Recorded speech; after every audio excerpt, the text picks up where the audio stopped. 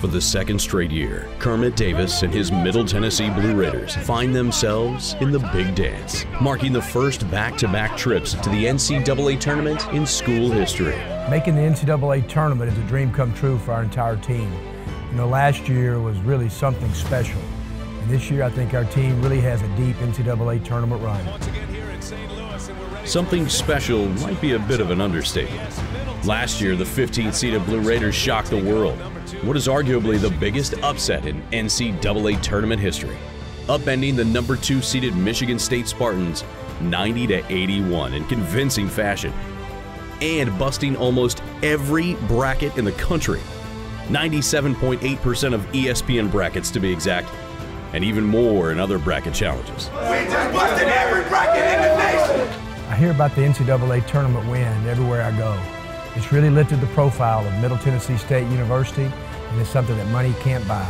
And one thing it has done is have the fans keep coming back to Murphy Center. This year's Blue Raider squad has been putting on quite the show for true Blue fans all season long. From marquee wins over SEC opponents like Ole Miss and Vanderbilt to a conference championship that was won in such convincing fashion that many pundits are predicting Middle Tennessee's tournament run this year to dip into the Sweet 16, or perhaps all the way to Phoenix.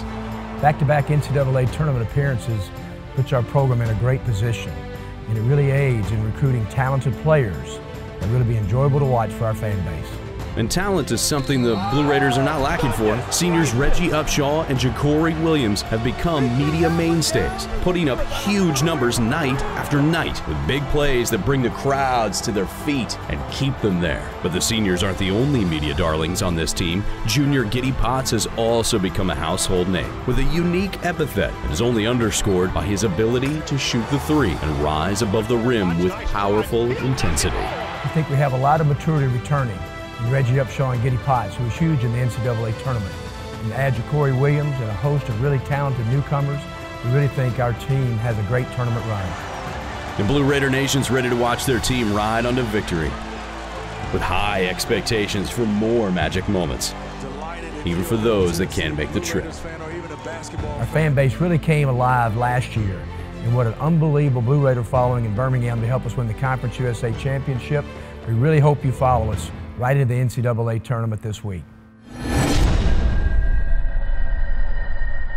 On Thursday night, the Minnesota Golden Gophers are the number five seed. Coach Richard Pitino, the 2017 Big Ten Coach of the Year, and the Gophers are in celebration mode.